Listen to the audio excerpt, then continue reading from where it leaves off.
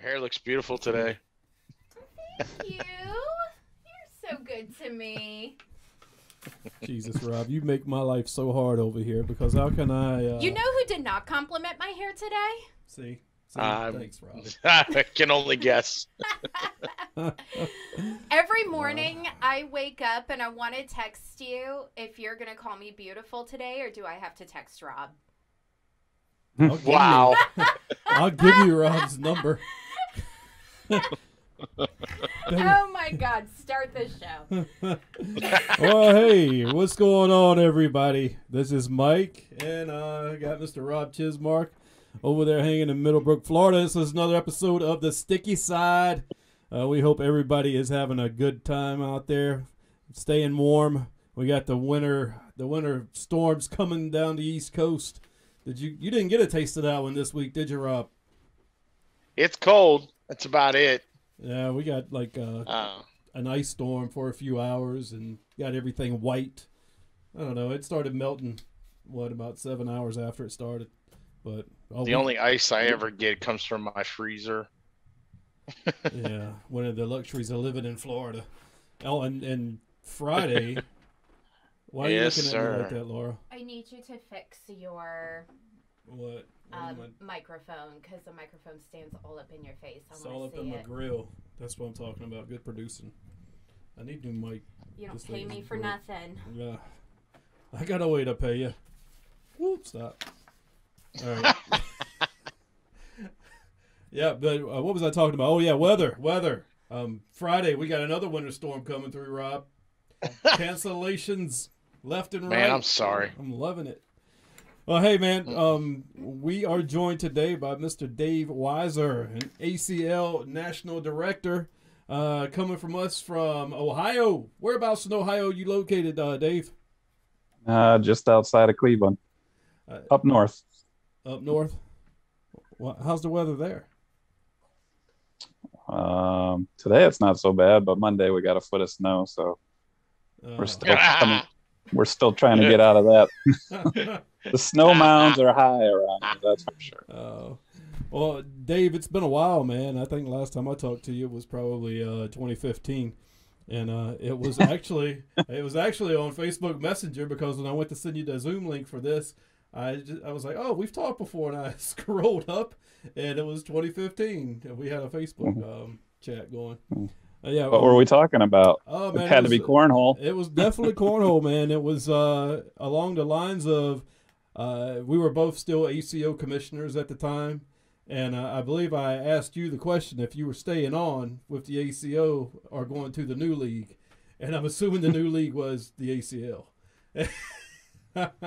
interesting. I think man. you got your can- answer. Yeah, interesting what you can find in those chats, man. in the archives.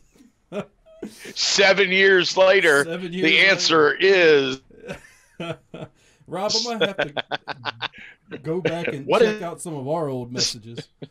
what is the ACL? Oh man, Uh, was it even called the ACL in 2015? I, don't think so. Probably called Mm. the ATL, Yeah, American Tailgating League. the tailgate. Yeah.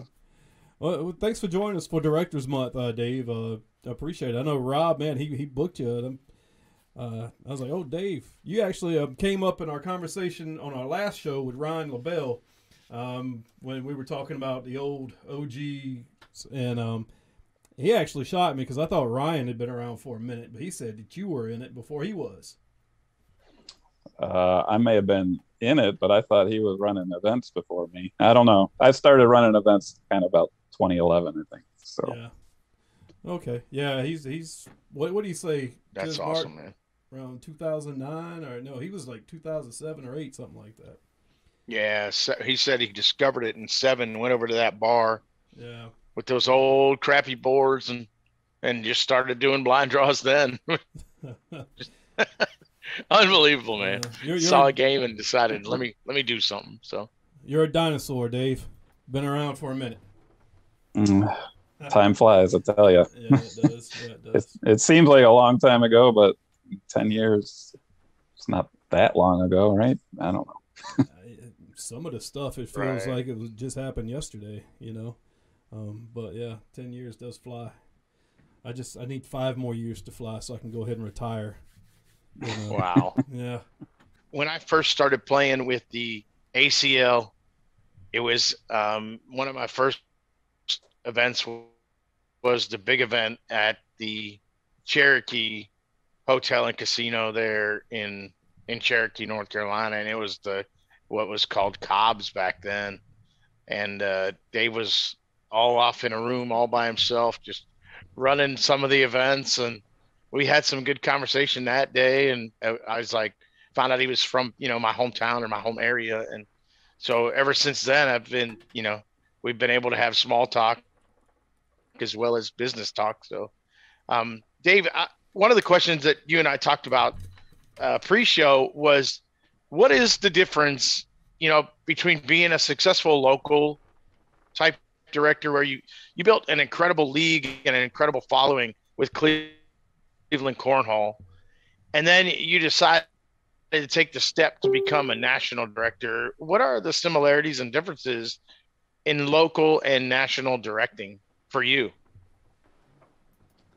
Uh, well, first, thanks for having me on, guys. This is uh, my pleasure to be here. Um, I mean, there's a lot of similarities. I, would say the biggest difference is uh, at the local level. You know, you get to know the players better. You know, you're you're with them all the time, especially the diehards. They're they're coming to every event, every league, every tournament you run, you know, and just just through that you get to get to know them and learn a little bit about more about their, you know, personal life and everything else. So there's more of a connection definitely with the players at the local level. Um, however, at the national level, you don't you don't necessarily get that right. You know, you you might see a player three or four times a year, and chances are you're so busy you don't have any time to to chat with them. All right. Hey, th- Rob, this is on you to get the fire back in the show. Let's go. You got to get it now. Fire. what, I, what the hell's the matter with you?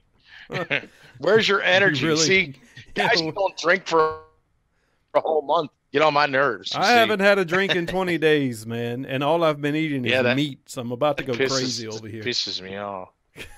pisses me off. How are you? How are you even digesting the meat without alcohol. It's called water. oh my god, it's not working. All right. So, all right, back to Dave. Sorry, Dave. I, these technical difficulties. I'm using some antiquated stuff. It's the old server back in the uh, beginning days of the ACL. I wasn't getting my texts. So, tell me, tell me again, local and national director and. Uh, uh, you know the differences and the similarities and and then i got a follow-up question after that sure yeah i mean i think i think there's more similarities than differences but the, the number one difference is uh, local you know you get to you get to know the players way much better you know you're around them several times a week you know i used when i was running stuff i was running two leagues a week and probably two or three tournaments a month so especially the diehards, they would come to everything. You know, they just they just want to play bags. So just by default, by being there, you get to chat with them more and get to get to know them better. Whereas these nationals, you know, you you go to you see these people three or four times a year instead of three or four times a week. And chances are I'm so busy I don't have time to chat with anyone anyway. So that that's the biggest difference I think, you know, the personal aspect of it. But the similarities are the same. You know, when I when I run an event, uh, my goal is to run as fair and fun events uh, as I can do, and whether that's a local tournament or a national tournament, and be as prepared as I can be for anything that might come up. You know, I I lost many nights of sleep just thinking about well, what if this happens, or what if this happens? You know, in the middle of the tournament, and for for many years before the ACL software came around, I ran everything on paper, right? Uh, and and that was crazy. And then I finally bought into using the ACL software. And but you know what? I still had that paper with me just in case. And then I started using the tablets because you know I wasn't sure how the tablets were going to work, and that made life easier. So I would say now, you know, running events is is a lot easier, but that's a good thing because most events have grown into be so large that it's it would be impossible to run on paper anyway or you'd have to hire a whole crew to to help you through it. So I can see that a, a print my bracket with 200 teams on it, and you have to do it on a poster board or something. How much of a pain in the ass will that be? it would be, but I used to, you know, I had all print. I printed it out from three team brackets up to like 64, I think, back in the day when I ran them on paper, and I'd still run seven tournaments, two advanced, two competitive, two intermediate, and a blind draw. And it was all done on paper. Everyone reported their games, you know, individually. You had to call out every game over the loudspeaker. It it was crazy. Life life today as a director is much better than it used to be, as long as you have good Wi-Fi. Hey, Rob. ah, I like that. Shots fired. Rob, he goes to PetSmart and buys a hamster to run on a wheel for his internet connection. How many of those things you good go news though when I when I go to my events though it's uh it's uh, always good Wi-Fi. I go to very good uh, venues, so they always have very good Wi-Fi for me. So everything runs very smoothly. Well, whatever I you like did, it. it's working now. Like perfect. I didn't do anything. I just uh, unplugged it and plugged it back in. You know the old faithful way. the the customer service way. Every time you call them. yeah. Yeah. Yep. Um Yeah, I'm gonna get a new modem. So I, I got to do something. I knew I, ne- I had to boost this stuff, and just stupid. So stop again, I apologize. stop finishing seventh, man, in your tournaments and you can win some money and you could upgrade your internet. I hate you. Come on. I should just do what you do and retire. man. uh, Actually, I got four more years. If, Then I don't. If I can retire. Then I don't. Then I don't finish anywhere. I could just talk about people not finishing up higher than seven. That's that's what I retired. You know, when I used to play, I used to be, you know, one of the best. And then everyone got better, so I'm just like, you know what? I need to focus on running events. They'll never know that it's stuck. there you go. but then, Dave, you don't have like any videos on YouTube of you making all these incredible shots, you know, that you know you have in you. Uh, you don't have any social media. Come on, man. You got to come back, play. Uh, there's there's still one video from back in the day I still watch every once in a while. I'm like, yeah, see, I used to know how to throw a bag. Not anymore. And we've talked about this before on the show, but there's like I, all these shots that you see some of these pro players making on YouTube on ESPN. I'm like, I did that in a tournament at a blind draw, more, more than twice. Nobody saw it though. When I play when I play, there was no such thing as a roll bag. What's what's a roll bag? yeah, that's that's new to me too. That's new. You to That was airmailed or you blocked? lucky. That was a lucky shot, man. No, Right. Yeah. yeah, yeah. Right. Dave, I get like at least an email a month from you when it comes to player levels. And that's one of the things that I feel like you are, it's kind of like a peeve of yours. Did that come from all the years of watching those people grow around you in the Cleveland area as they just got better and better? Because I know you had your leagues are like A League and B League and C League, and and you don't necessarily use the the the nomenclature that is used in the ACL for your leagues or when you were running them. So is that is that player level thing is that something that you do because of is that a is that a peeve of yours because of what you saw? I don't know if it's a peeve. I'm just, you know, like I said, when I run events, I want them to be as fair as possible, right? And I don't think anybody likes a sandbagger. You know, nobody nobody wants to go to a tournament right. and and sign up for intermediate and watch some guy, you know, making three out of four every round. That that's not fun for anyone. It's not fair for anyone. Um, yeah, when I when I was running leagues, we used to have, you know, we'd have 60 teams in a league, and I would split it into like seven divisions or something, you know, groups of eight basically. But it wasn't based on the data because we didn't we didn't weren't using tablets or anything like that for the leagues. So it was just more based strictly on results. And you know, if you won your division, guess what? You're moving up. It was as simple as that. Now we have this database with the ACL with 30, 40,000 people. We we want the regional directors, conference directors, even local directors to, to do as much as they can as far as weeding out, you know, players that are marked wrong or are clearly not playing in the right division. But and there, I think most of the regional directors are doing that, but not all of them. And I spend, you know, Sunday night comes and Monday night after a weekend of regional conference opens, lots of data comes in right over the weekend. and I'll spend two hours Sunday night, two hours Monday night, just digging into everything that's come in, um, and and look at it. And I, I have a whole set of reports that that come out of that, including, you know, PPR is the, the most popular one, right? Points per round. Mm-hmm. But that doesn't tell the whole story. Just because your points per round is advanced level, I'm not going to go in there and say, well, you know, you're throwing 8.2. I'm moving you up. No, I take that and then I look and see how did you do? What what tournaments have you been playing in? Where did you finish? What level did you play? You know, and if you're you're throwing 8.2 and you're playing competitive in Florida, you know, like you know, depending what part of the country you're in, you know, if you're in Florida or Ohio, you're probably playing against good competition, right? And if you're playing competitive and finishing seventh, I'm not going to say, oh, you need to move up just because your PPR is 8.2. So you kind of got to weigh both things. And the same with the regional directors. But, you know, I'd say 90, 95% of the people that I move on my own, it's just they never took the time to go into their player profile and say, I'm an advanced player. They they signed up two years ago. They marked it as intermediate. No one's ever changed it. They weren't intentionally sandbagging. They're already playing advanced, but just trying to clean that up. Um, that's been more of this year's focus. And then I send a lot of these reports to all the regional and conference directors so that they can look at them too, because they don't have access to all this, right?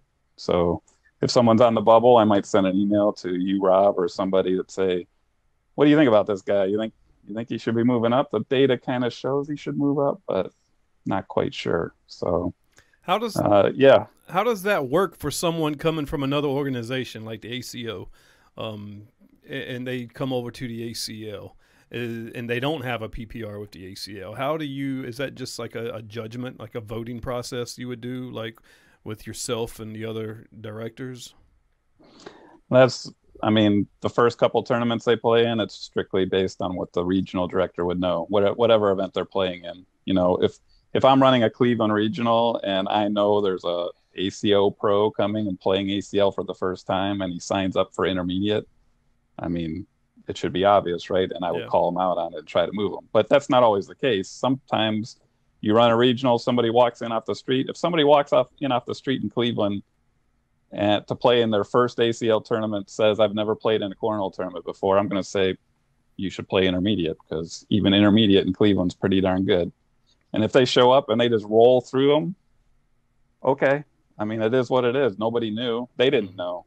So it's like, I'm going to move them up immediately. You know, they, they ran through intermediate. You're competitive now. There's, there's no looking back but I'd say that's at least in in my area that's pretty rare to walk in the, off the street and start throwing eights, you know, or, or whatever they were doing to roll through intermediate. So there's no that that's kind of one of the downfalls. But if there's no information on someone, what what else can you do?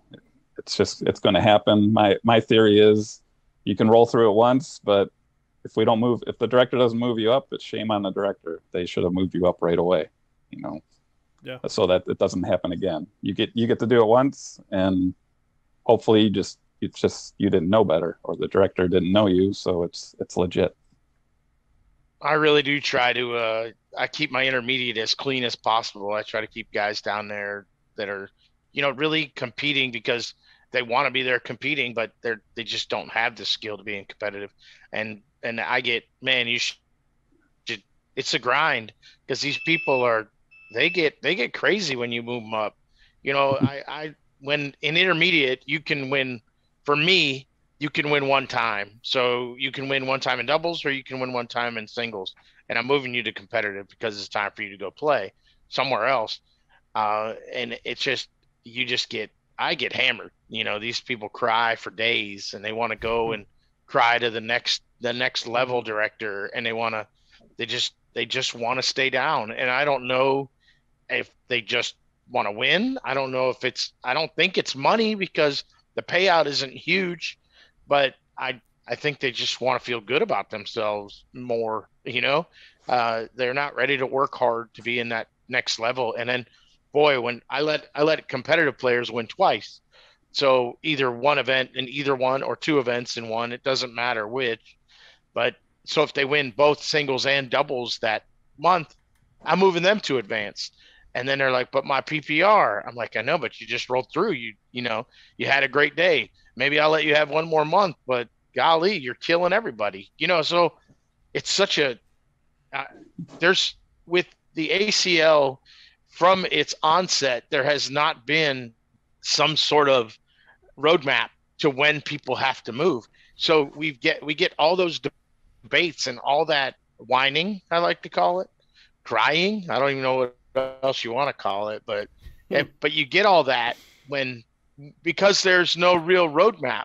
So watching you kind of do it from afar and you're really able to concentrate on all that because of you know you're kind of away from the local stuff uh, being able to control that. And when that spreadsheet comes out i kind of i'll take that and show it to that player that made it. But typically i don't have very many people on that spreadsheet for my region.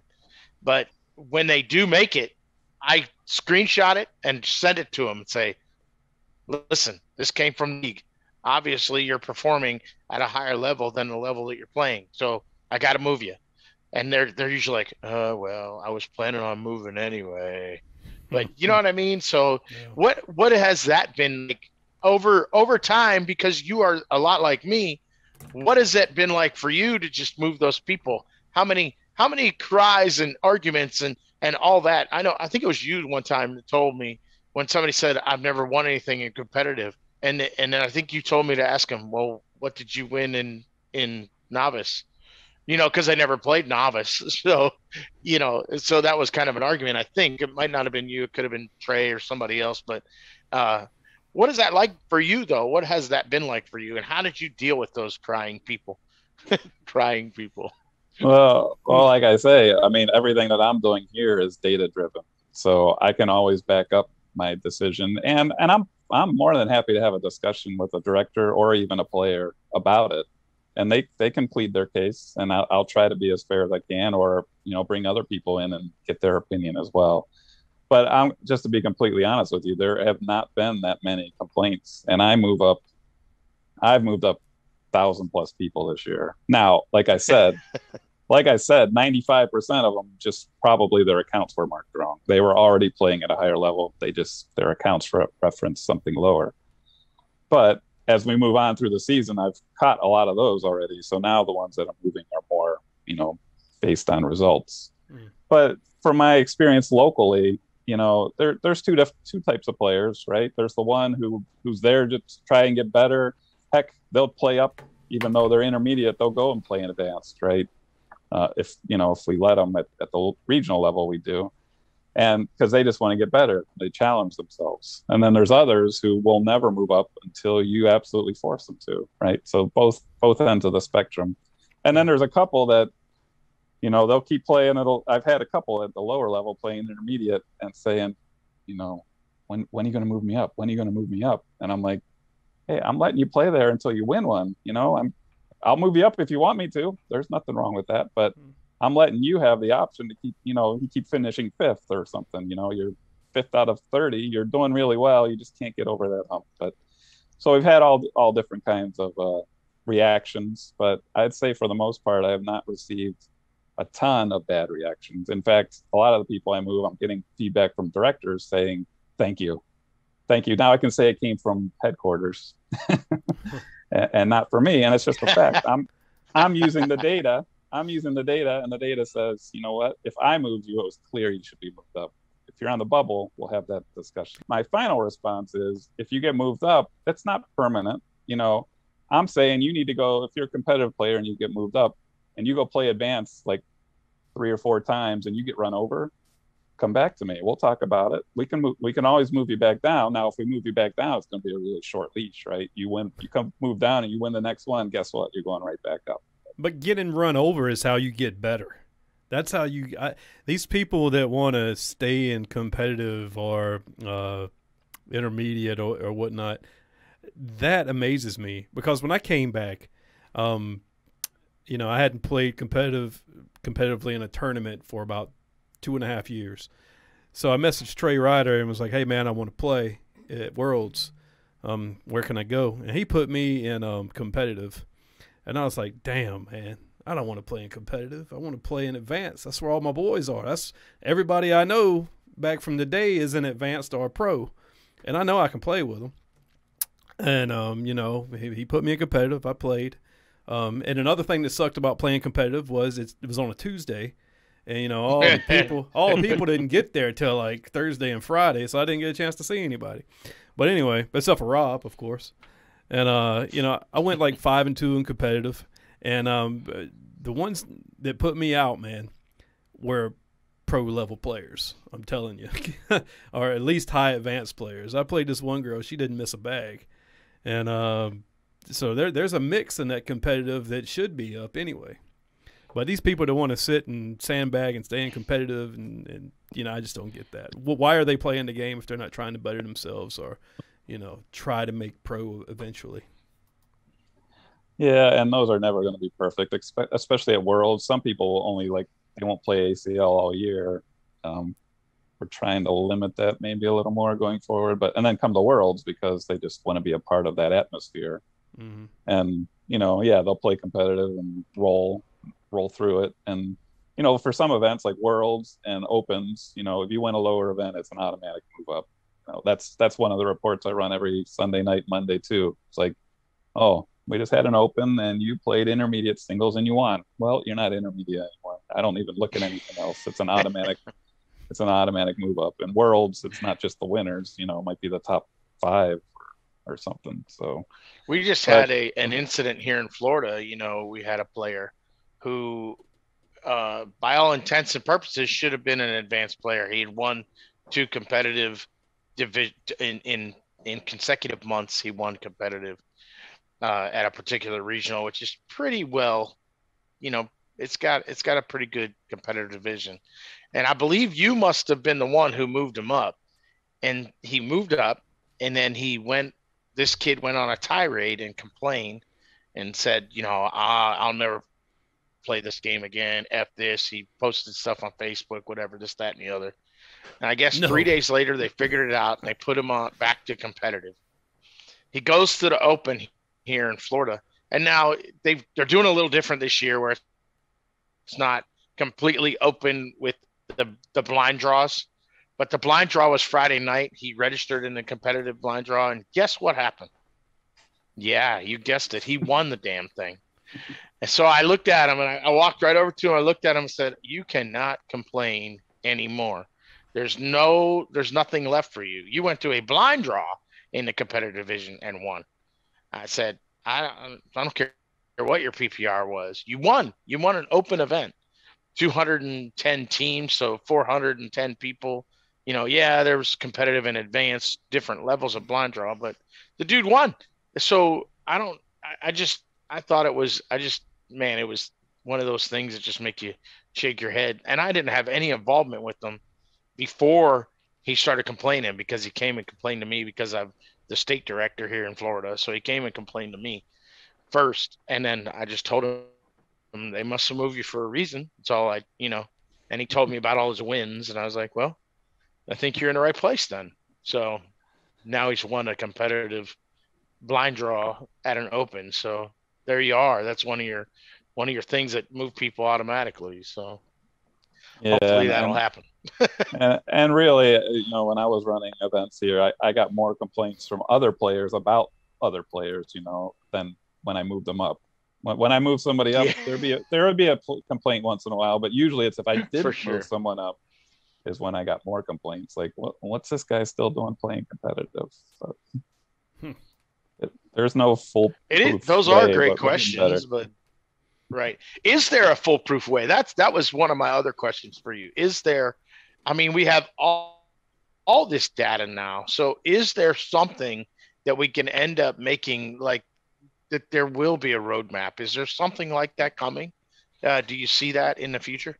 Uh, I, I could see something getting closer to, you know, su- suggestions. I mean, we have suggestions, but there's still a lot of directors not using tablets, so we're still missing lots of data and then you know there's still it would have to be a combination of PPR results because um, if you look at certain areas of the country, you know their advanced level might be seven seven point five PPRs. That's really competitive level, but they're the best in their area, and they go somewhere else and they're going to get run over. So it, it would have to be a combination of things. But until we get everyone collecting all the information, we're not we're not going to get there. Are you the only ACL Oh, national sorry. director? No, I mean it's a title. I, I mean I don't even consider that a big the main part of my job anymore. Even though it's ACL national director, it's more like data analyst. No. You know, I'm going I'm going to two or three of the pro nationals. I'll be helping run those, and I'll be at Worlds helping to run that. But you know, three or four events. You know, it's, there are others. Josh Josh Keck is running all the opens. He'll he'll be at all the nationals. He's everywhere. And then uh, Todd Kasicki is kind of the director of directors. He's considered a national director. So there's three of us by title right now, but Josh is doing you know most of that work, traveling Okay. around the country. I, I've I, I look at it as I put in my time. I had to I had to work through, you know, world events where I sat in that room by myself, as Rob said earlier, with before tablets, you know, hundreds. We, you know, we had we had nationals that had 800 people. Everyone had to report all their wins or losses, and it, it was just chaos. It, it shaved a few years off my life, I think. Ah, yeah, but don't you hate it now because um, when you're running tournaments, people don't have to report to you, so that's less people you have to meet. Don't you like meeting all these players? And At nationals, I just look forward. I just look forward to making it through a day. Like at regionals, well, regionals got to be the point where I just look forward to making it through the day too. But when it was a little smaller, it was a little, it was more fun just because it, it wasn't as stressful uh, and you got to chat more. But once it got big, it did, it doesn't matter. There's, I just want to get through it. You've gotten rid of Cleveland Cornhole, is that correct? You've you've uh, moved on from there. I still have a small part in it, but for the most part, I'm not involved at all with day to day operations. So yes, Are you still running regionals though? Because you had said something about regionals. No, I helped them with one so far this season. I stopped at the end of last year. I kind of handed it over. I I ran one with them watching, and then the the second last or the last one of the year they ran, and I watched, and that was it. I, I've helped them with one this year because uh, one of the two guys was out of town. So, but Gotcha. no, I haven't. I haven't haven't really been involved since about May, and I've I've fully enjoyed it. I bet. I, I bet. I mean, you got all the other things going on with the kids with dance, right? And dance and band, the two things that that uh, you, your children are involved in now. Yeah, dance and cheer, and then they're on in the band, but they're part of the dance team on the band, so it's dance. And it's been Right. so I ran cornhole for almost ten years. I played cornhole for three years prior to that, which I was a diehard, like you know, diehards are. I was playing four or five times a week, and then before I started running cornhole, I was playing uh, as kind of a second job for income. I was playing online poker for seven years, so. Wow. So for the last the last 15, 20 years, my nights have not been free. So this last six months have been awesome. Uh, I can go I can go do what I want, make my own schedule where I haven't done that in a long time. I That's swear, crazy. I wish that back about 10 years ago, the cornhole world is like it is now because that, well, seven to 10 years ago, because that's, I was like you, Dave, you know, three nights a week, man, I was going to blind draws every weekend. I was either running a tournament or playing in one. And, um, you know, the older you get, man, uh, you just lose that, you know. I've lost the motivation to go to three blind draws every night. And back then I was married. But then maybe that's why I did it so I could get out of the house. so, I mean, Yeah, the mo- the motivation faded uh, for two reasons for me. Yeah. One is that that other the other organization I won't you know won't talk about too much here, but mhm. uh, they they put in some rules I thought were horrendous, and it kind of killed my desire, but drove my desire to make things better in the cornhole world. yeah, Um, but not but as a player, it kind of killed it. And then once I started running things, and uh, the league started growing, and tournaments started growing, I realized I couldn't play and run them as well as I wanted to. I couldn't. I definitely couldn't play as well because I was focused on too many other things, and I couldn't run at the event as well as I wanted to if I was out there playing. So I just decided I had to pick one or the other, and I, I decided to focus on running events. And by doing that, my skill level just dropped. And then when I do pick up a bag now, I just get frustrated. So people ask me, "Do you do you miss it?" And I'm like, "No, because when I throw a bag now, it doesn't go where I tell it to go, so it's not fun." It's muscle memory. It'll it'll take a little bit, but it comes back. And um, Yeah. you know, you- you're talking about you're talking about the other organization, of course, it's the ACO. But you know, me and you, we were both commissioners back in there, back when that first started. I mean, we both started out as certified officials, and you know, you were one before me. Then uh, they got this commissioner thing going, and you know, right along the time where you left is when I started feeling like it's time to go because of what you were leading to was like some of the things that they were implementing. And it my downfall over there was you know, it was the beginning of the ACL. A lot of players started going to the ACL from the ACO. And then I got put in charge of Kentucky as the commissioner. And I'm sitting over here in North Carolina saying, what the hell am I going to do from North Carolina to help be the commissioner in Kentucky? And um, I actually I would message the guys and be like, "Hey, how's it going over there in Kentucky? How's your regionals going?" And everybody was nice. I made a little Facebook group, but I knew that was my demise in the ACO hierarchy right there. It was time to go. Um, I enjoyed running the tournaments. I'm sure, like you did, you know, met a lot of people that way, and um, Yeah, that's. I mean, it's the only thing I miss since giving up Cleveland Cornhole is seeing the people. And mhm. I, I've made a couple spot appearances. Like I said, I helped run one regional, and uh, a couple times I've been called to go sub at at a league. You know, play not not run it, but sub and throw bags. Mhm. So I got to you know hang out with some people there. I can always go see them, but not not seeing them three or four times a week's the biggest negative to giving up Cleveland Cornhole. But but overall, I'm I'm enjoying my my freedom from being locked down Monday night, Thursday night, and several Saturdays a month.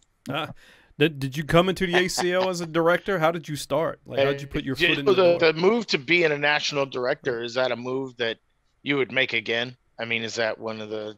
Are, are you are you happy with that one? Oh no! Oh yeah, yeah. there and I, I go kind again. of. oh. Uh, yeah. So I I have no regrets. Oh Um, man! uh, th- to answer to answer the other question, how did I get involved? I yeah, like how'd you get your foot in the door in the ACL?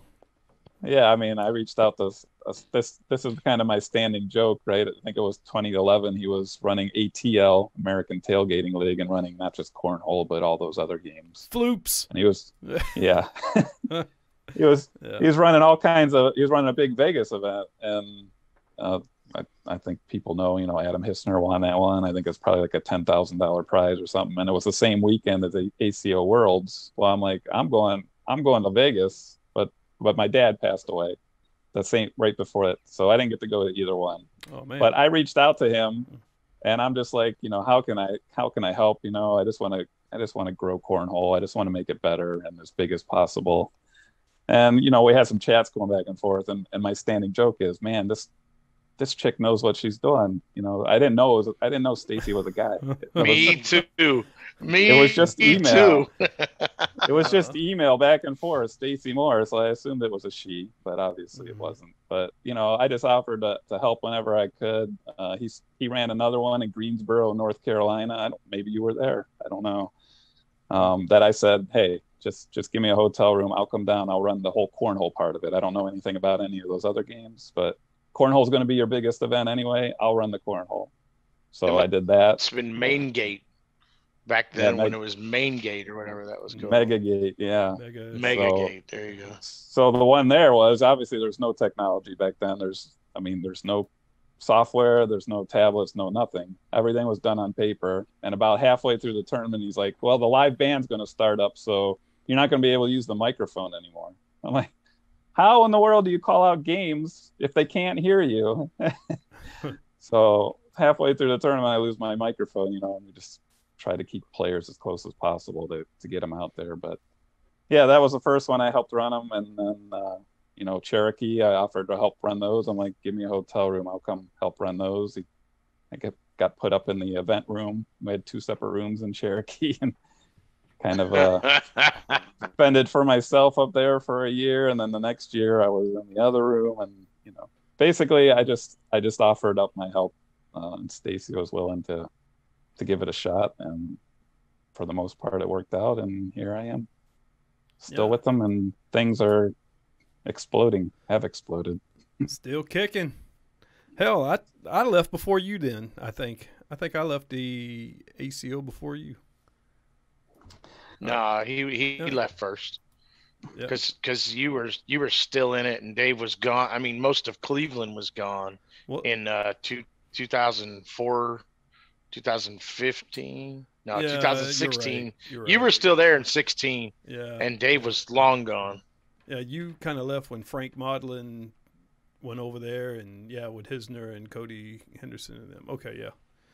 All right, yeah. Yeah, I 'cause- think I think Cleveland Cleveland was the first one of like the first year there were like eight the eight directors running regionals, and Cleveland was one of the first eight.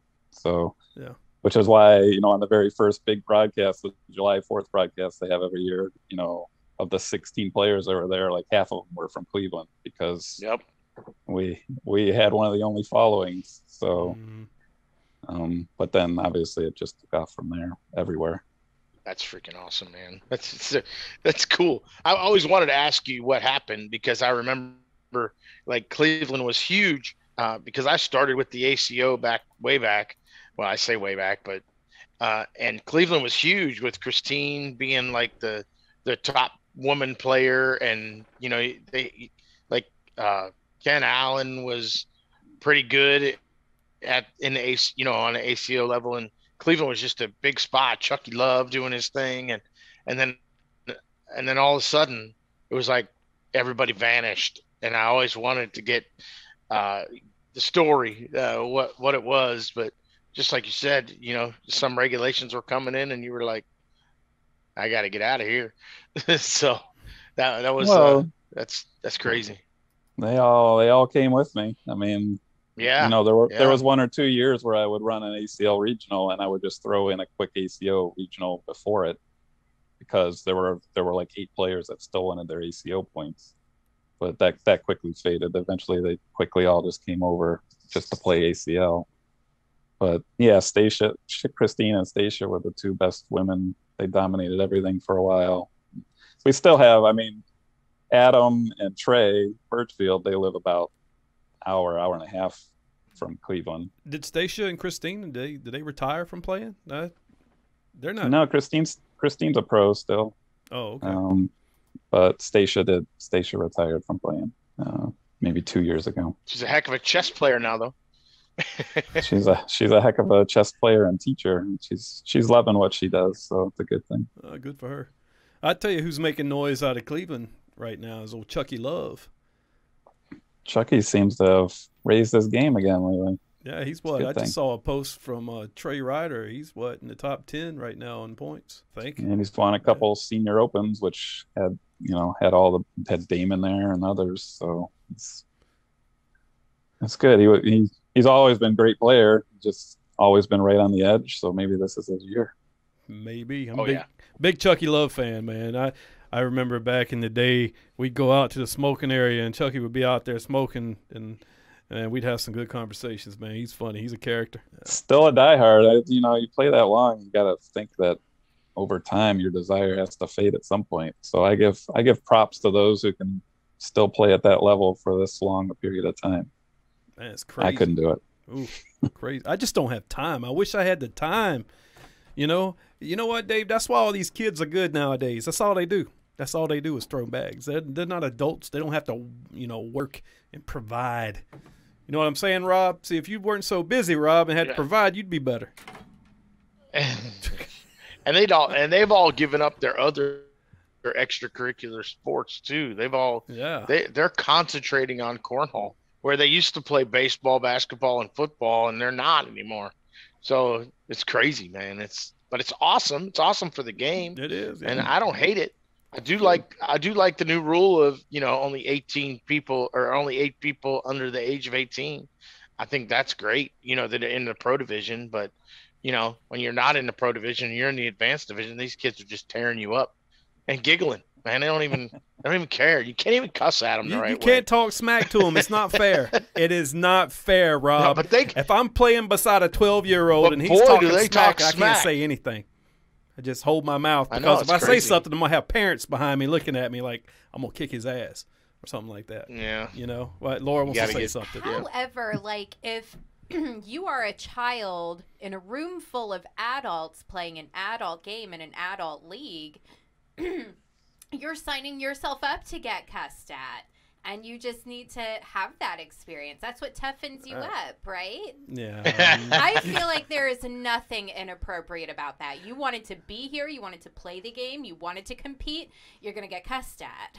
okay. Well, here you you try this. Trying you to win my ten dollars. you stand beside a 12 year old that just dropped like three four baggers in a row on you, scored like 12 points, and turn around and look at him and call him a little shit, and see how that flies at a cornhole tournament.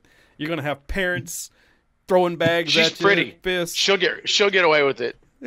She's pretty. We're not She getting won't- away with it. Rob, did you forget who you're talking about? She doesn't watch my games. Wow. She she of would not see what's going on. That's because she didn't want to cuss out the twelve year old. Yeah. I'll be that like sideline Karen. Like if there's some 12-year-old whooping your ass, I'm going to say something about it. Yeah, you're gonna say something like, "Damn, Mike, you suck." Pick pick it up, Mike. The bags go in the hole. Uh, yeah, but you know,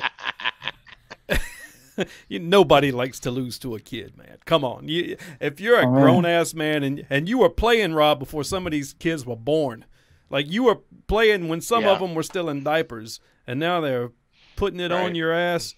Nobody likes to lose like that, but you know, Their Part their of the bones are greatness of our game, though. yeah, Yeah, I mean, yeah. It, it is, it is, but I still mean, you don't look like at it. those other sports. These kids, these kids, their chances of making, you know, the NBA or the NFL are minuscule, right? And right. I mean, the way the pro division's going now, it's getting harder and harder, obviously, but they're proven that they can keep up with the pros and, you know, million dollar prize pots and big question is, though- Who knows? will they be able to do it you know once they hit that 18 21 year old you know they're doing it now and they're 12 15 16 are they going to be able to do it when they get to 18 21 year old range at the same level? Because you know that's what we were just talking about chucky being at it and being good at it for a long time. You know kids and their in their mind when they do have to go to work when they do have to go to school what what's it going to be like? So you know it's great to watch that division grow and be so successful and so powerful now but what happens to these kids when they become adults Well, first off, we haven't Rob, really seen that yet. well, first off, they got to get between the ages of 14 and 18. That's when the puberty Right. kicks in, and that's when oh, I like I like girls, I like boys. You know, that's when that kicks in. Right. If they can survive Right. that and still play cornhole, then hey, they're destined to be great cornhole players. But I've seen I've seen great kids that were awesome throwers younger, and then they hit those teens. Girls just blew their minds, and you don't even see them anymore. They don't even play bags anymore, and they were good players, man, as kids. So Kobe Kobe McKeever, he's one of those guys. I don't know if girls did it or he just found uh, other interests, but he was one of those guys that was incredible. yeah, You well, know, he, was uh, he could do things with bags back then that other people couldn't do. I mean, he had two different spins on his bag, yeah. you know. So Well, yeah, Not, not just Kobe. Remember Bobby Morris Jr. Bobby Morris Jr. was the first like small kid that everybody Right. in the cornhole Well, DK. nation. DK was the first. Well, how old was Derek when he started? I think DK was the first young Eh, ten. I think he was ten when he played Matt in the in the Oh. World Championship. Okay, yeah, because I think Bobby Morris Jr. was probably nine or ten. 10 or 11. Yeah, But he Um, was little, so so we liked him more. and, and he had the he had the flat ass bag, and he would spin the bag on his finger. And at ten years old, and he was the first person that I know about. DK, maybe he maybe um uh, Bobby Morris Jr. is the second person, but he would get all the accolades around the country for being as small as he is and playing the way Right. he did. Um, but he disappeared. I mean, I've seen pictures of him on Facebook. He's no longer little Bobby. You know, he's he's grown up No. now. Uh, Um, but yeah, it, it's funny. Some of these um, kids just disappear when they hit those teens, man. they do, man. They find other interests. That's why. I mean, like Dave, your surrogate son. I like to call him Eric Anderson. He's been at it since he was a young guy, um, and he's really still young, but he's been at it for a long time. You've watched him grow up in this game, and it's it's awesome to see him do what he's doing now at this age. We didn't know Eric as a young kid because he really only played ACL, but he's been at it for a long time. Yeah, it's been a while. Uh, he, he keeps he always tells me a story. I showed up in your league, and you know he was in Division Four or something when he first started, but Right. he rose up pretty quickly. I mean, Trey Birchfield, he Oh yeah. he's he's the example from here that I would say he, when he was real young, uh, real young, like eleven or twelve. You know, he used to come to a tournament once in a while, and he'd probably been like an intermediate player. Then then I didn't see him for like three years, and he came back and was this machine at like age fifteen. so Yeah. he, he's obviously the rare case where now he's he travels the country and plays cornhole, but. Uh, so this, it's yet to see how many can actually accomplish that go from the you know the 10 11 year old to 18 and still be doing it at a high level but we'll see what happens Yeah, uh, Jamie Graham was one of those that he he was 15 when he started playing in my regionals, and you know Jamie back when he first started playing with us, uh, he was like an intermediate player. You know, he was one of them guys that could it, you expected to beat him, but he would have one of them games where you would be like, oh shit, Jamie's on fire. You know, um, but he went through his teens and uh, from 15 to 16 I don't know what happened, but he flipped a switch, man. He came back after a year and turned into a, a machine. But he's a good example of somebody that's, you know, started playing and didn't lose focus when they got through their teens.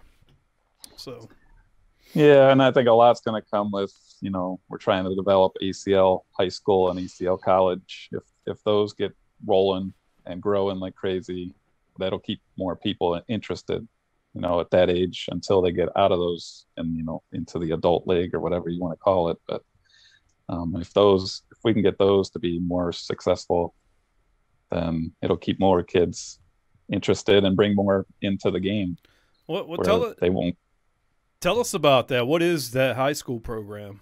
Is just ACL uh, people going out there and just having curriculum with the high schoolers, the students playing cornhole after school or something? Or Yeah, I think it's gonna. I think it's being led led by uh, Len Len Hyatt Yes, out, sir. out in the northwest. So he's leading that up. Uh, it's just getting started. So they just they had high school as part of their college event uh, over New Year's. Uh, as kind of a kickoff, I guess, um, and they're going to try to feature it more at opens. Have like a high school division. I'm sure it's going to start small, but you got to start somewhere, right? And, you know, if we can start getting into schools, schools bringing the kids, kids play, they start coming to regionals. It's, you know, the sky's the limit, but you have to start somewhere. So I mean, it's just kind of getting started. Yeah. The ACL started with floops, floops, and was it beer pong? Uh, and then what was the other? There was a cornhole board, but it had different holes in it. Remember that one? Uh, he, I- he, the ACL when they first started, or ATL, I think they had It the five point slot in the back too. Yeah, Oh, ATL, oh yeah, yeah. they did. Yep. I asked I them to bring that back. I had a conversation with Stacy. I want that back. I Uh, don't know how you ever intentionally got in the. It was just like luck, I think, but they, it was there. I, I saw first Matt started. Guy playing a cool game a couple of months ago on one of his live feeds. It was a baseball game. Did you see that? I did Mm-mm. not. No, it was a giant cornhole board, and the holes were bases. You had like first base, second base, uh, third base, and home home run slot. And um, yeah, you played baseball like that. And if you didn't hit it in a hole, put the bag in a hole, it was an out. Um, Wow. Yeah, it looked like it was fun, man. Different aspect of the game, different way to play it. Maybe one day they'll make one with like a 12 inch hole. That way I'll stand a chance. It's same bags though. Same bags. Hey, back, back in the day, ten years ago, I remember going to a tournament where somebody hand carved that hole. It was about fifty percent bigger than it should have been. I'm like, yeah, Toilet seat. I So, I ain't missing. Man, we had a local builder one time. Well, I know. Okay, I'm gonna go ahead and throw myself under the bus here. I used to make boards, and when I started, they weren't that great. Um, I was learning, and uh, I made one. Everybody called it the toilet seat because I used uh, the router. when I routed the inside of the hole, I didn't have the measurements right, and I had it like way too low. And yeah, it was definitely smooth, but the hole looked like it was about eight inches diameter. the toilet seat. Yeah. Good times, man. Bringing That's back all so these great memories. days. Your Dave, what uh, what do you see? So for your future, do you see this uh, da- data data analysis? And there it goes, it's going red again. I can see it. Uh, you're still data with us. analysis uh, in in the future for the ACL. Oh yeah. I mean, the more the more we collect, the more we need to kind of dig in and see what we got. And you put it to good use. So, like just like just like cornhole, I think we're just scratching the surface with what we can do with the the information. A- And I'm working on some other things in the background that hopefully we get to this year that can, you know, make everything a little bit better. But not gonna not gonna drop any hints yet. But Oh, come on, man! Right now, drop some bombs on the, on the sticky side. well, you know. It it. fits though because you know this this uh acl gigs of my part-time gig right? So i work a Mm. full-time job. Fortunately i've been working from home ever since covid started and so i work i go grab some meals i go grab a meal i take my kids to wherever they need to get to for dance or whatever and then i come home and dig through some data for a couple hours most nights. Might not sound that exciting but i i enjoy it No, I'm a I'm a data digger myself. I'm a fool for spreadsheets. I love making spreadsheets. Like you want to get nerdy, get an energy drink, sit at your computer, and go to YouTube University, and just search for different formulas for spreadsheets. I love that. I love it. Oh yeah, Laura's looking at me like, what the hell? You got you a winner, Laura. Hey, look, you can do some serious stuff with spreadsheets, man, if you got patience. I have never seen this man and a spreadsheet in the same room at the same time. Well, if you like minimize the screen, you'll see all the spreadsheets. Especially, I just created like two, but don't do it because you might not go back to the screen. Yeah. I've got like five up right now and reports. I mean, look, we've we've recorded 3.7 million rounds of cornhole so far since October 1st. Oh my gosh. Three point seven million. yeah, and that's not even all the ones that were thrown. That's what's awesome. Oh my Yeah, god. that's just- that's just the ones entered in the bag tracker. Well, aren't all the Awesome. aren't all your regional directors? uh, Shouldn't they like have to use tablets to report their stats? Uh, because of the investment, it's not required yet. It's just highly encouraged. Um, they're they are being asked to use the you know our system to for registrations and wallet for Mhm. regionals and higher um, now, but as far as capturing rounds, it's it's not required yet because obviously, depending on how big your regional is, you know, investing in 15 tablets and you know whatever else you need to get the Wi-Fi to work, and things like that is quite an investment. So Well, it seems like at some point that might be required, but it's not yet. Yeah, if if Do you see the? Do PPR you see, go ahead. Sorry. Wow! Break my teeth out on you. No, I was just going to say. Go um, I was just going to say if PPR is going to be like one of the main stats that's going to like separate these players and the divisions and stuff, and it's going to like create a tier of players, like who the best players are. It seems like that would be mandatory because PPR is a stat that's driven off of the tablets. That's that's why it will be eventually. Yeah. But it's not it's not Do you there see yet. the It's- league helping? You know, helping directors in that regard. I mean, because now with with the amount of players playing, you know, way back in the day, it was a 60 mile radius for regional directors. But with the amount of players playing today, you know, 40 miles down the road, you could have a whole other group of players, you know, doing the same thing and, and have a need for another regional director. So do you see the league coming in and maybe figuring out a way to help, uh, you know, a regional director get off, you know, get get started? I mean, I mean, equipment, just like you said, the equipment for that is just it it gets more and more expensive as the commodities get more expensive. You know, for a set of boards now, you know, buying plywood and whatever one buys or two buys is is getting unbelievably expensive, and it's just wood. And so the technology as well is getting expensive. What what does the league have a plan for that? I mean, that I mean, there could be something that I haven't heard about, but my my theory is, you know, if you go and run good events and you're now an ACL regional director, your events are going to get to the point, if they're not already, where you're drawing a pretty good crowd. And if you're drawing a pretty good crowd, then you're you're getting paid for your time, and then some. And if you're getting paid for your time and then some, you can make it better by investing some of that that's coming in back into your business by buying tablets, which yes, that's a one-time expensive investment, but it's not like you can't use those tablets for years to come. You know, so it's it's an investment into years to come that I think uh, regional directors aren't doing it yet, which some aren't. Uh, they should start considering it. If, I mean, probably going to become mandatory at some point, but I don't know when when that'll be. Yeah, I've seen some of those smaller tablets. I mean, they're really not that expensive. That uh, well, it depends on what you call expensive. They're like forty dollars a piece, and at a regional level, you probably only need like I don't know, eight of them, maybe, maybe not even that. Like, I don't know. You might have big time regionals, so I don't know how many courts you have. But back in my day when I was running them, it'd be like four or five. So, I mean, I need 14 at mine, so I've been I've been using 14 sets of boards for three different divisions. Um, and I'm only getting about 130 to 135 people. Only, Yeah. only about 130. Yeah. Okay. So uh, let me ask you this, because Yeah. back in the day when I was running them, and I know things have changed, so uh, I apologize for keep saying back in the day, but like I was giving out some of the, I, I would keep maybe 50 bucks. All right. I wasn't trying to get rich off of running tournaments, uh, and then I would give the rest back to the players. Um, now, how does that work with regional directors now in the ACL?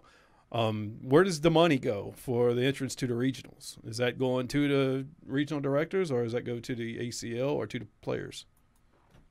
Everywhere, all, all those Both. places. Yeah. It does.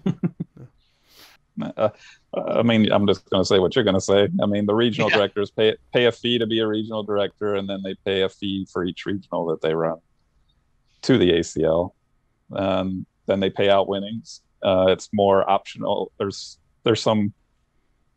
I mean, directors have some freedom as to into how they pay the payout at the regional level, so it might vary from area to area, but they pay it out, and then they're making money for their time, just like they should. And they're you know they're probably renting a facility they got to pay a facility to be there so there's there's money going in all all different directions that are coming in Yeah, That- as you can imagine, to get 14 boards in a facility, you're not able to to rent the local moose lodge anymore. You know what I mean? You're not you're not doing this on four to six sets of boards anymore, like we were able to back in the day. I mean, truly back in the day, I would run some five board regionals and still be able to get them done in a a very uh, positive amount of time. I don't know what do you want to call it, efficient Hmm. amount of time. But these days, I'm running. I start about nine and probably get out of there about nine.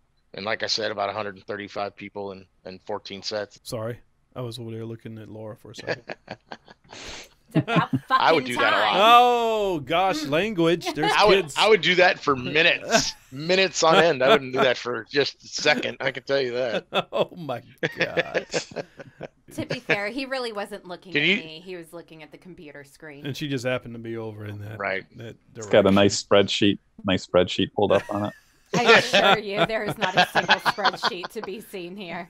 Uh, look, I'm telling you, That's I can make some formulas. You know, sum equals uh 13 comma that row 13 you know I know how to do all this stuff Oh, here don't we go. challenge me You're doing great, kid. Here we go. Here we go. oh go. well Here we on go. rob you got anything else man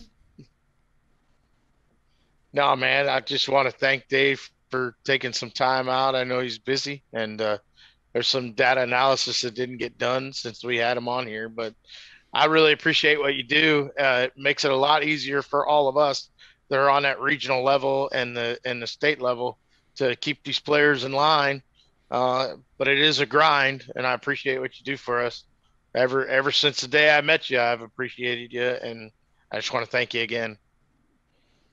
Appreciate that we're just scratching the surface it's only going to get better Uh, Dave, um, I'll just piggyback on Rob. Thanks for coming on the show, man. Um, uh, being one of our directors for Directors Month. Uh, good talking to you again after seven years, man. You know, so, Yeah, we shouldn't wait so long next time. yeah. Well, maybe I'll get to see you at, uh, I, at the way it's looking right now because I was supposed to go to Florida and play this past weekend, and I just, uh, you know, the walls fall down, and I can't plan anything right now. Rob, how, how did you finish? Actually, I was going to ask you. I uh, uh, so we do rounders, and we went three and three, but and they took some three and threes to tier one, but we we snuck into tier two. But we were uh, we were a high level tier two players, but uh, we ended up three and two in the bracket. Um, and then uh, singles day came around, and it's almost like I was a brand new thrower again, and uh, didn't didn't fare as well as I wanted to. But there's another open coming, and and I'll be there too. Where's the next one at? Next one will be in Kentucky. I don't know if I'm going to go to the one in Kentucky, but we've got uh, a six, six or seven more coming uh, down the pipe. So we'll, Well, see how it goes. I do know I'm going to the one in Arizona. I definitely want to do that one, so Yeah, gonna book it. Red. yeah, we're going to do that Registration's uh, the week out there. Yeah, There you go. I like Dave. He's selling it. I'm Hey, getting on That's it. my Hey. guy. It's not. It's not even that. You know, like I think Kentucky's sold out. So Ooh, if it sells out, you're out of luck. If you really want to go, Yeah. so don't wait. uh, Yep. yeah. I've been to. I may just go up there as a as a vendor because that when you play and and do your booth because that's what I did. I made a mistake of playing and doing my booth at Florida, and when you do both, it, when you're away from your booth, dude, you, you see people walking over there and looking at stuff, and and from where you're playing, you're like, oh shit, nobody's there, you know. And you're trying to throw your bags at the same time. Somebody- So I, I found myself putting my back to my booth when I was playing so that I wouldn't look. You know what I mean? yeah. because it's just you you you know you're losing you know you're losing that opportunity to to make any money so Or somebody's walking away with a set this. of boardmen bags. No i only put three out i've i've i've uh i've conquered that Oh, i only put three out Yeah. Oh, they have walked away before so hey, Oh I've, yeah. I've conquered that Well, Dave, thanks again, man. Um, we're gonna let you go. We appreciate you being on the sticky side, and uh, maybe we'll see you out there. Maybe I know Rob will, but maybe I'll get to see you out there uh, sometime in 2022 at an ACL event, brother. You have a good one out Sounds there in. Cleveland, and stay safe. Thanks. Thanks for having me. All right, Rob, we'll See see, you you, later, on man. the on the next show, brother. You be good in Florida, man. thank you mike see you next time This is Mike. That's Rob, and this is Sticky Side. We'll see you next time. Throw them straight. Peace. Cause we all just wanna be cornhole stars singing cheap hotels and driving beat up cars. The crowd gets crazy and the beers ain't cheap. We get drunk all day so we just don't eat and we hang out at the local bar, throwing bags in the hole like we have it all.